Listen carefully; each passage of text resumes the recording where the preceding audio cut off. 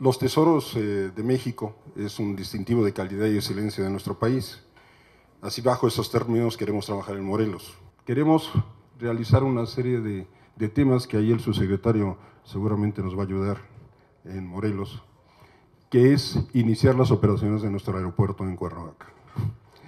Necesitamos un impulso ahí, eh, ya hemos tenido contactos con, con, varias líneas aéreas, tenemos un magnífico aeropuerto que mucha gente desconoce, eh, con salas nacionales, salas internacionales, tenemos migración, este, una pista de 12 kilómetros 800, este, un aeropuerto con todas las condiciones para estar dentro de esos aeropuertos metropolitanos.